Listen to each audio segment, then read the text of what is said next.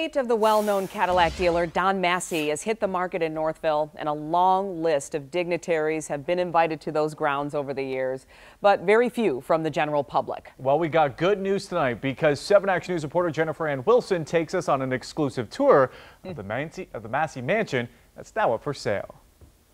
This regal three-story mansion built in the early 1900s sits on nearly 15 acres at 8 Mile and Griswold, but the Massey estate, as it's known, is more than just a piece of property. It's a piece of history. The original owners here were the Yerkes. They passed it on to William Chase.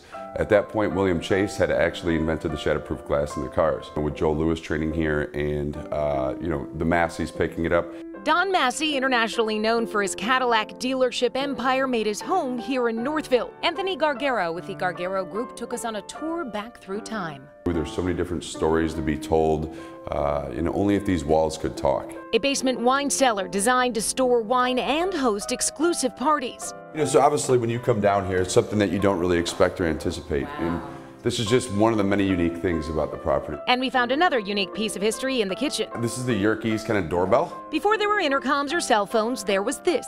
All this exploring is making me thirsty, so let's see how well this vintage call system works. It works.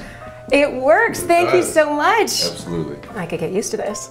Not every bedroom has one of these amazing bells, but they all have plenty of windows and lots of light.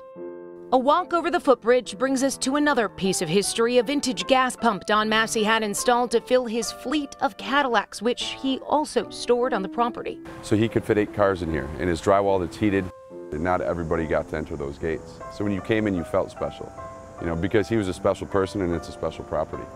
From this balcony just off the master bedroom, you can see everyone coming and going, and this historic estate could be mine for just under $3.5 million. I'm Jennifer Ann Wilson, 7 Action News.